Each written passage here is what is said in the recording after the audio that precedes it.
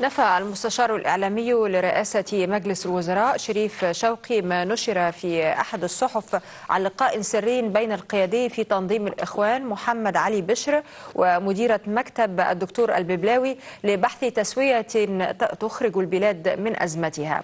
وأكد شوقي أن هذا الخبر عار تماما من الصحة وأن الدكتورة رباب المهدي لا تشغل وظيفة مدير مكتب رئيس الوزراء وليس لها علاقة برئاسة الوزراء سواء من قريب أو من بعيد. وأضاف أن رئيس مجلس الوزراء لم يجري أي مقابلات أو حوارات تخص هذا الموضوع سواء هو أو أي من مكتبه.